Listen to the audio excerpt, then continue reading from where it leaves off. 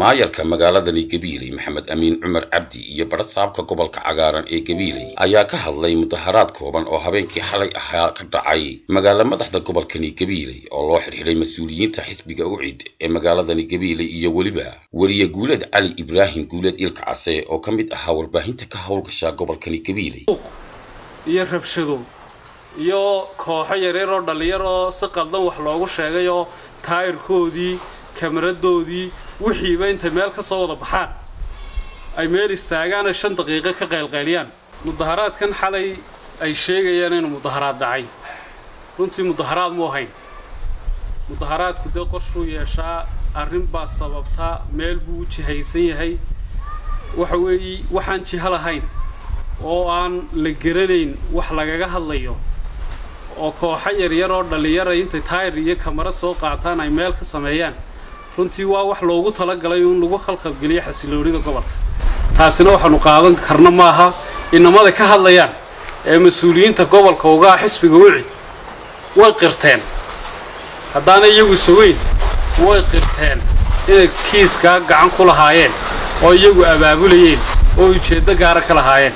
Kuna dhawaaqeen hadallo markaa meeshaba dee aan oolin toddobadii barkii habeennimo waad garan kartaa falka la geystay arrinkaa booliisku way ka howlgaleen waxay noo soo riboodgeliyeen booliisku arrinkaa inay u hayaan saddex xubnood oo laba xubnood ay yihiin guddoomiyihii iyo xogayihii ucid runtii arrinkaasu wuxuu nagu noqday arrin aan aad iyo aad ula fajacnay waxaanay booliisku sheegeenba inay qiraab sameeyeen inay iyagu arrinkaa ay maaragtay ka dambeeyeen. Xisbiga ucid dabeecadahan oo kale xisbi loogu bartay muu ahayn aliya laakiin waa nasiib daro in maaragtay dad noocaas oo kale ahay maaragtay ee xisbigii ay soo dhex galeen.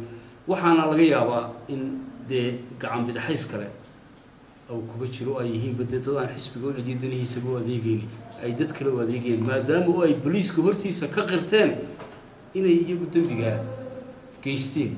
Waryuhu dadka ayuu ka mid yahay. Qof kasta oo bulshada ka tirsan haddii fal nabadgeliya darro lagu eedeeyo.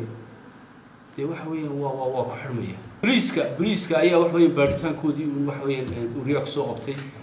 Kana hor dhici mayno. Runtii wixii baaritaana ayuu baynu insha allah biidnillaahi baari aynu sugi doonaa. Sidoo kalena maayarka ayaa jawaab adag ka bixiyey. Eedeymo xisbiyada macaaridka ah ee magaaladani gabiile kaga imanayay xagga xukuumadda haatan talada haysa.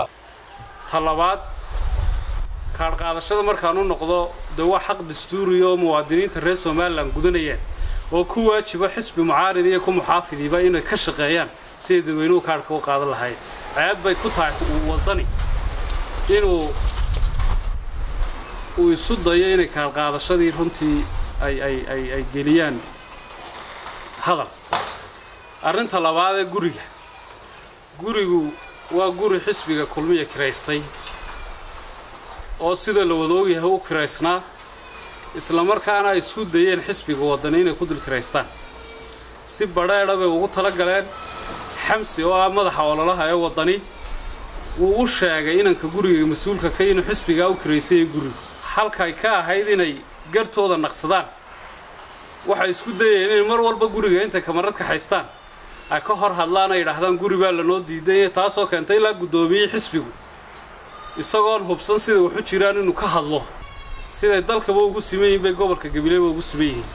Inay siyaasad hufan la yimaadaan oo ay qorshe la yimaadaan oo ay aragti la yimaadaan ay ku kasbanayaan dadka reer gabiley waa cilmi maxamed jaamac fogaan aragga xorta star t v magaalada gabiley